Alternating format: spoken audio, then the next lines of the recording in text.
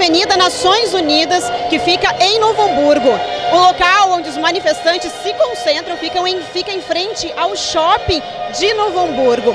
O grupo que está reunido aqui vem daqui do município e de outras cidades da região metropolitana e do próprio Vale. Os manifestantes pretendem fazer uma caminhada a partir das 4 horas da tarde em direção à BR-116, onde então pretendem fazer uma breve paralisação por instantes para protestar contra o governo Dilma.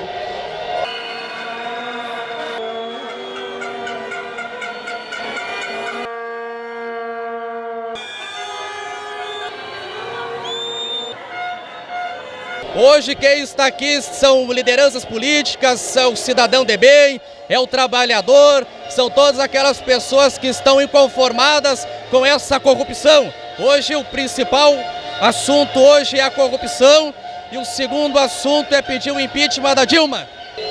Protesto para que a gente volte a ter um país onde realmente o povo brasileiro merece. Que a gente descubra quem são os verdadeiros corruptos desse país. Estão tentando mascarar uma situação no nosso país para que a gente esqueça que realmente quem rouba aqui é o PT. É eles que têm que cair. Fora Dilma, fora PT.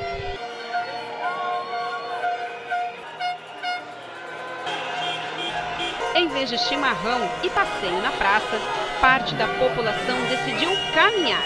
Um trajeto ritmado pelos passos e som de panelas, apitos, cornetas e vozes.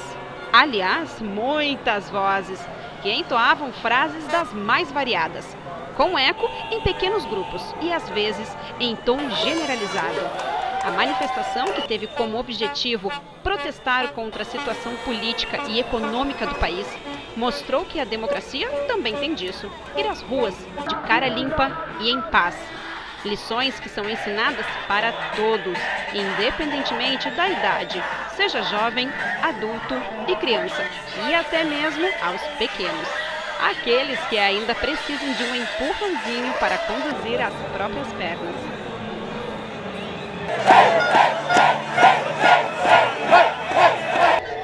Caminhada que durou cerca de 5 quilômetros veio parar aqui, na BR-116, onde, segundo a Guarda Municipal, cerca de 8 mil manifestantes bloqueiam neste exato momento os dois sentidos da rodovia.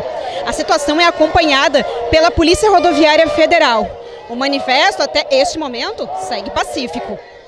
A preocupação da Guarda Municipal, primeiramente, foi o deslocamento da área central da cidade até a BR-116. Movimento pacífico, com cerca de oito viaturas, cerca não, oito viaturas da Guarda fazendo a cobertura nas vias de acesso, fornecendo então a integridade física dos participantes. Tudo na mais tranquila ordem, na mais perfeita ordem, o pessoal está de parabéns.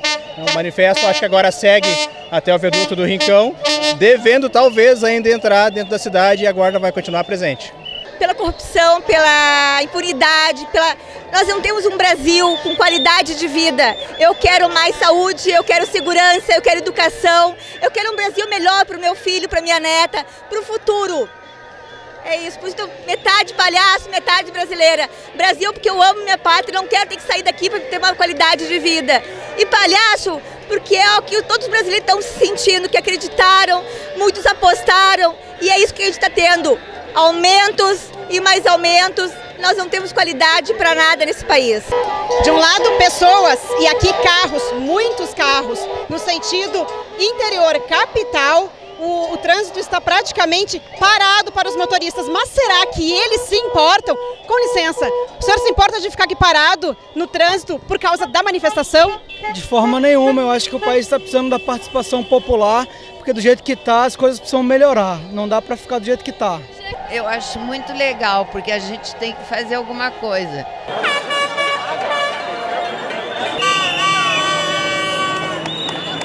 Depois de uma hora de interdição, em basicamente nos dois sentidos da rodovia, os manifestantes deixam a BR-116 e passam a acessar novamente a cidade de Novo Hamburgo.